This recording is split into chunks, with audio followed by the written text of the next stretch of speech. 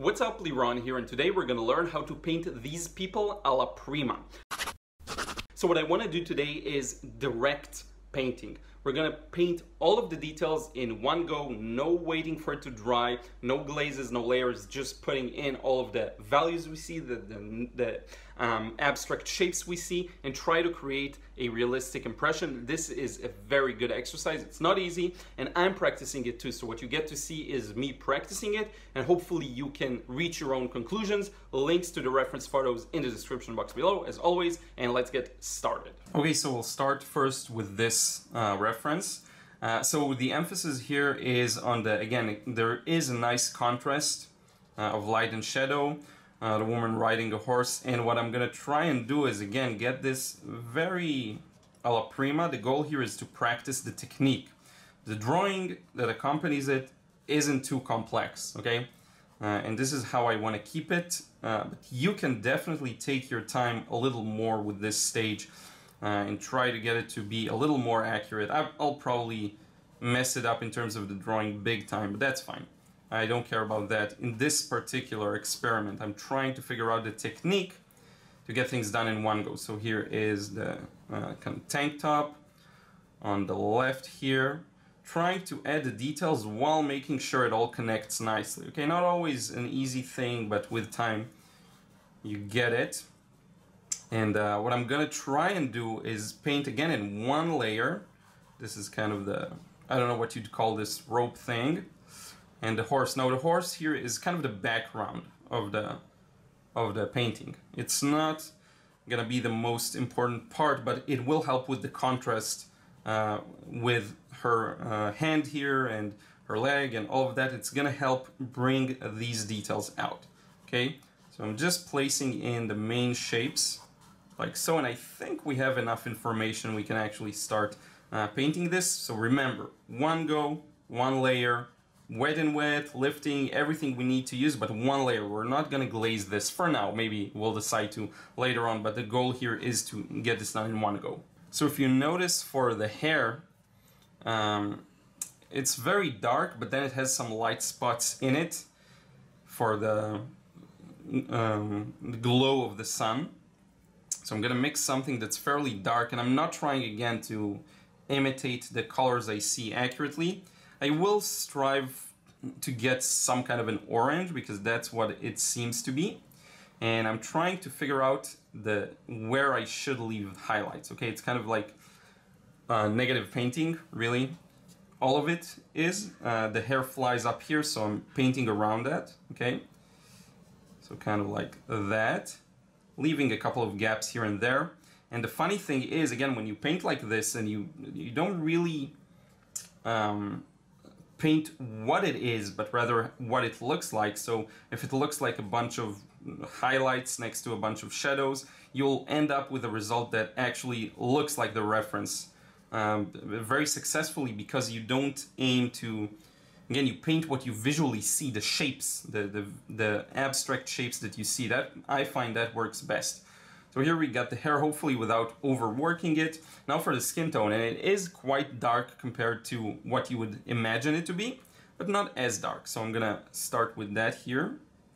And what i'm gonna do for the right side is i'll leave um, i'll leave a white highlight okay? It's gonna be completely white so, and I added a bit of red to the mix. So this part here of the hand is going to be completely white around the uh, elbow. Over here, we'll do the shirt really soon, okay? It's kind of like that. Now here we have this kind of a dent in the hand, very common. So you want to make sure you get that in. I'm gonna spice it up with a bit of yellow just to keep things moving and a little interesting. So here we go. And her hand and the shadow on her actual hand. Now it was the arm, now the hand. Now I'm gonna have a buffer because the, the shirt starts here. I'm gonna go a little lower than that because the paint is gonna spread out. Okay, that's something really important. Now we're gonna switch to a really, really dark paint. Maybe even just black. You know, I got a lot of flack for not using black. Here we go, we're using black. So I'm gonna do this here, put in the tank top, that's darker than the hair by the way. So now the hair that looked so far the darkest is gonna be actually lighter. which is really cool and fun. So here we go, like that. It's nice seeing how your perception of values shifts uh, in accordance with what you get in the reference, you know. So here we go, there is a bit of a highlight on the shirt itself as well, which is, the, again, the shirt is kind of black looking, uh, but there is a highlight on it, so there is obviously some kind of a nuance there. Like so. A bit of darker shadows here. And I'm gonna need a bit more water just to keep things moving, because they're a bit stuck. Darken up this area to fix this shape. Uh, here, now here we have a lot of highlights kind of around this area here. The shirt, is kind of falling off, draping over the horse.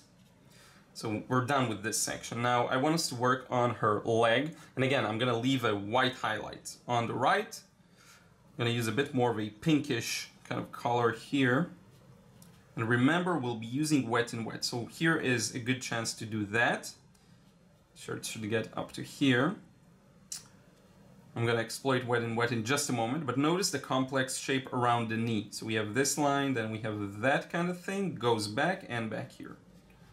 So now, first we can blend the edge. So let's um, wet the brush, dry it, and kind of blend that edge in. Hopefully we did a decent job. And it's nice to have variety. So here it's sharp, here it's blended. Now, while this is still wet, we have to quickly put in some more uh, details. So here we go.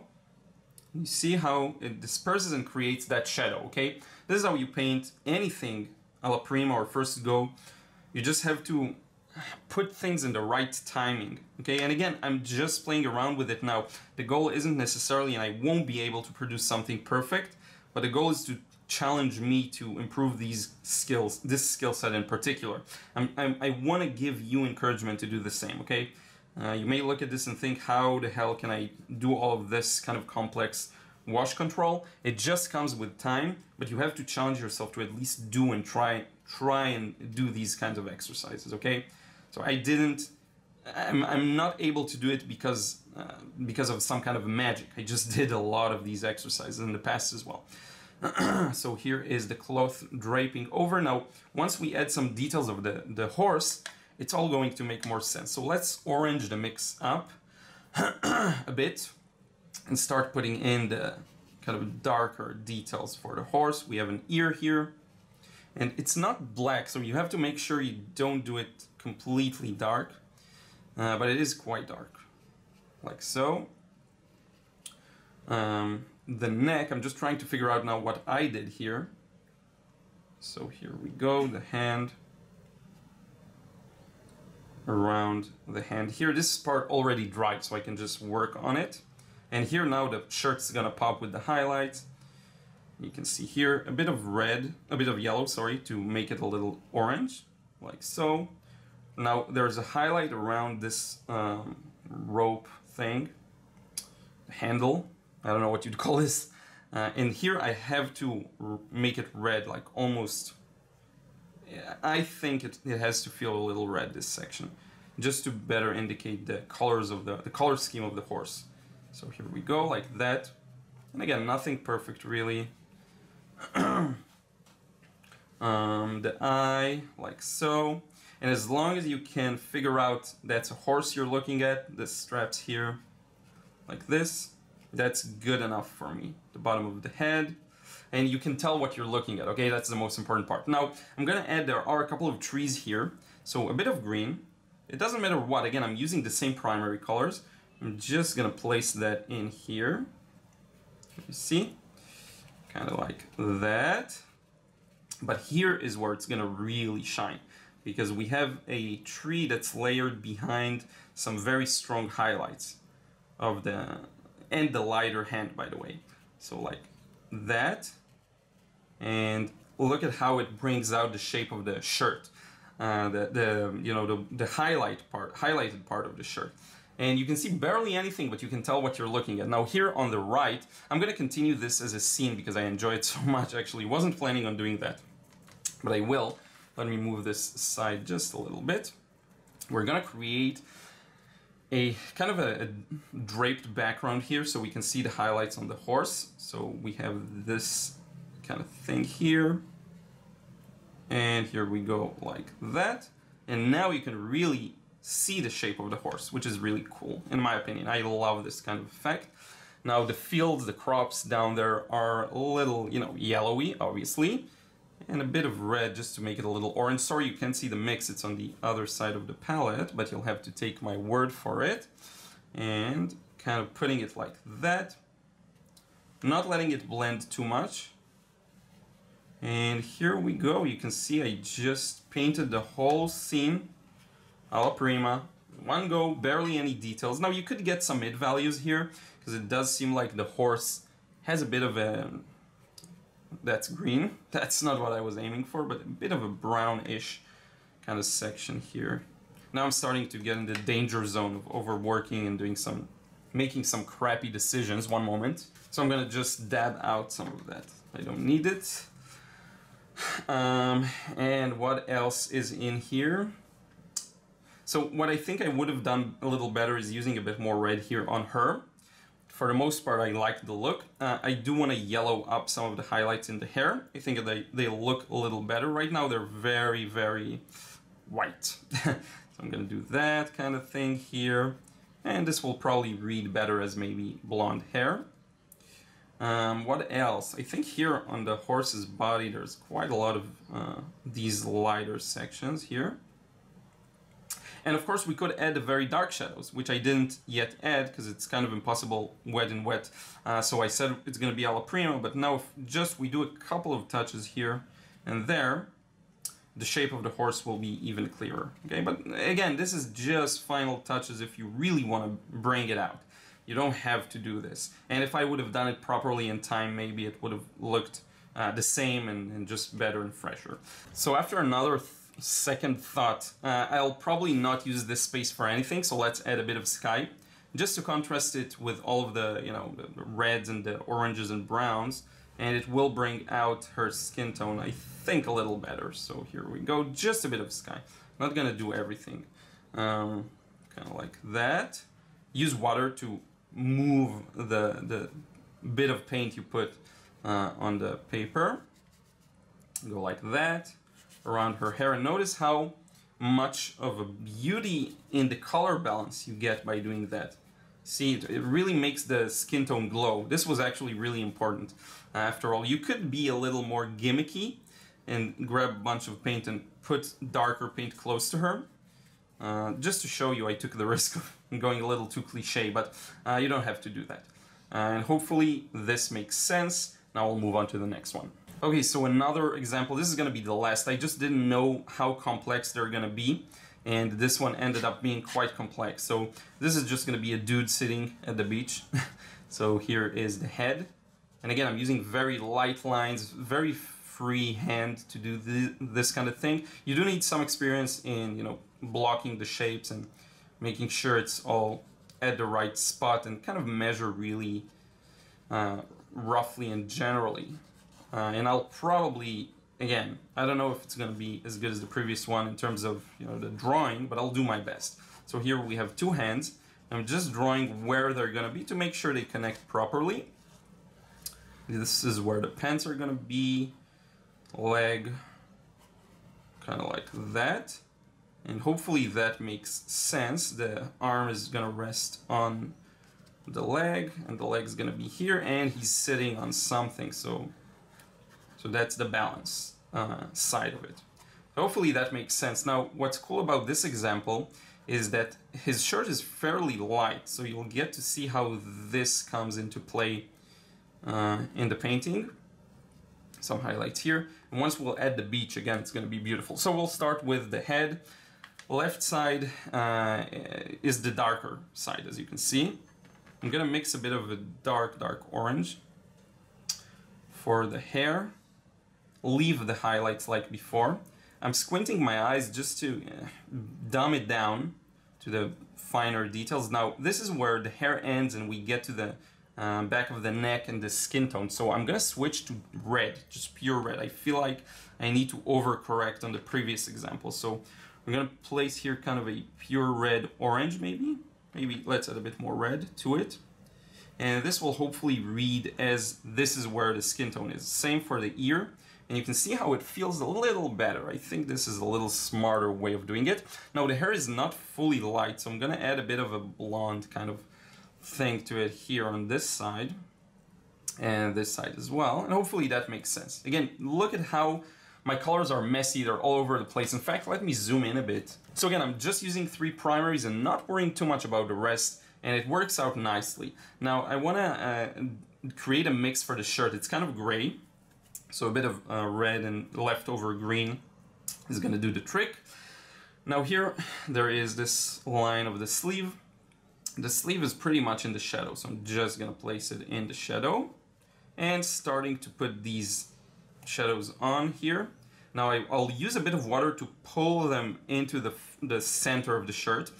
Uh, or maybe blend them. We'll see. I'm, I'm still haven't decided, but but I'm just as long as the shape is connected, I'm I'm working on it. Okay, we have a couple of creases here, a couple of folds in the cloth. Yeah, I'm gonna blend some of the edges, but not all of them. So maybe here, that's a good place to blend. Here as well, and notice how it just pulls it in and creates this very nice interest I think. Now I'm gonna connect the shirt to the jeans. This is all in the shadow so I don't need to make any separation. In fact I'm just gonna go for it. The jeans I'm gonna make a little darker. They're not significantly darker in the reference photo but I feel like it would be beneficial. So we'll do that kind of thing and we'll darken them near the bottom. So I got not only French ultramarine, but also a little bit of phthalo blue, which is a little darker inherently. This crease or fold here, I'm gonna darken the meeting point between them. I feel like that'll really help the impact of this one. Now here I have to switch to a more of a skin tone, but very dark. So I'm gonna use a lot of red, add that to the mix, a lot of this uh, Perylene red, and we'll just get started. I'm gonna connect, I should have connected the hand here earlier, just to, now you see I have a break here, but that's fine. Uh, connected here. Now there is a bit of light, so it goes like this, and then there's a stripe of light here. This is a highlight, okay? Um, and I'm gonna continue downwards with uh, the leg, kind of like this. Hopefully I didn't mess up the shape too bad, like so. That's the challenge when doing these kinds of things, that you'd mess up the shape of things. And that's fine, it happens. Uh, but the thing is, if the values are accurate and the drawing is somewhat accurate, you will get something that's pleasing to the eye. Uh, now I want to add a couple of shadows here, just to differentiate the pants from the hand, from the, you know, you see it here? You see, hopefully you see how that works to create that nice separation. Now onto the other side, everything's gonna be a little lighter. I'm gonna add a lot of yellow and red because now I, I added a bit of blue and I know you hate when I contaminate the palette like that. That's just, uh, what do you call this? Um, there's, a, there's a phrase for it that I forgot. But in any case, uh, that's just a part of the game. So here we go. A bit too dark, so I got rid of some of the uh, paint and water. And now I do want this to be red, so trying to get a bit of a pure red. Here we go. Shadow on the leg, like that. Now you can't see the shape of the leg just yet. You'll see it soon when I'll add the jeans and when I'll add the background, okay? Um, a bit of muted gray for the sleeve here, the kind of like that, bit of folds, creases, stuff like here.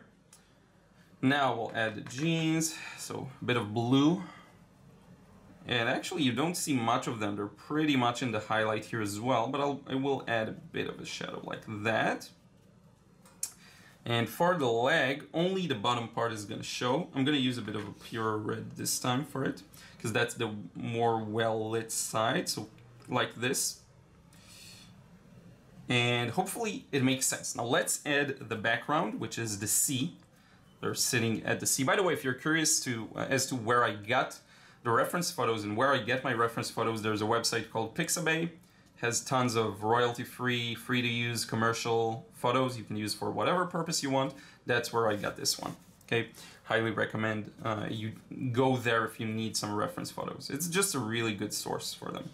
Uh, the shape of the ear, and especially if you do plan on selling your work, uh, it's a good place to check out because you can. Okay, usually you need to read the, the small letters, but usually you can. So here we go, shape of the shoulders right here. Now you'll see how this makes the entire thing pop. Uh, I do want it to be a little happier of a blue, so here we go. I'm adding, I'm adding and subtracting paint and water as I go along. This is just the way to do it. You do wet and wet, you lift, uh, add water to make it lighter, or lift. I do that all the time. Now notice, I can add this kind of a, a glow here, and it's not in the reference photo, it's actually really close to the hand, but it will look good. You see, you don't have to closely follow the reference for it to look good. Now here is the leg that we couldn't see earlier. Here's the hand that we couldn't see its shape clearly earlier. And notice what a beautiful sense of light. I'm gonna green this down the bottom because that's where the sea kind of gets close and a bit greener. Here you'll see the shape of this left leg that shouldn't have any glow around it really. So I'm gonna get rid of that. See here? And we've got it. We've got our dude looking at the sea. And uh, hopefully that makes sense uh, in terms of the process and uh, alla prima painting. Again, not easy, not an easy technique. You have to have really good um, wash control. I'm gonna add a bit of pure red here or orange just to make it a little clearer what we're looking at. Uh, you need to develop these skills and have them really tight to allow you to work this fast and, and get the details in. But, but once you do, you can see uh, what a beautiful result it can achieve. I'm going to hold it a little closer to the camera so you can see the details a little better. And also for uh, the second one. And by the way, you can just add a bit of shadow here to anchor this guy to the ground. So a bit of uh, that shadow here, because it, it is in the reference photo. I completely forgot about it. Uh, and the rest I think could stay white. It's very light. Uh, but with that, we can wrap this one up. Thank you so much for watching, and let's wrap it up face to face. So this is it for this one. This is, in my opinion, the most fun way of doing this. But of course, when you scale your paintings up and they're larger, it's not always as possible to do as in these smaller uh, smaller examples, but it is very fun. So I want to thank you so much for watching. Let me know in a comment down below what you thought of this. If you're doing it, I'm really curious to know because this uh, topic isn't discussed much here on YouTube. So I just want to know uh, if you do this as well and what maybe struggles you're experiencing with it or what else I could elaborate on and develop with this kind of thing. So thank you so much. Don't forget to like this video. As always, it really helps me to promote the channel. And also subscribe if you are a lurker and you still aren't subscribed. And hit the bell button. That uh, really helps. You'll get notifications. You'll know about new videos that come out. Thank you so much. We'll see you again in the next vid real soon.